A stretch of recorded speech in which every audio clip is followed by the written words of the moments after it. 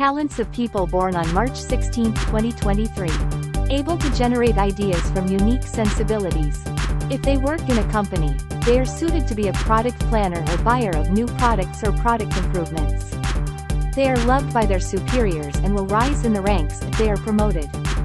They should work in the entertainment, publishing, or music industry.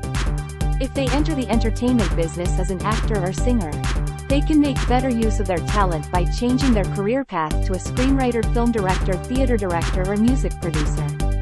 They can make better use of their talent by creating their own creations, which are more complete. They are curious, so they should try things that interest them and gain experience in them.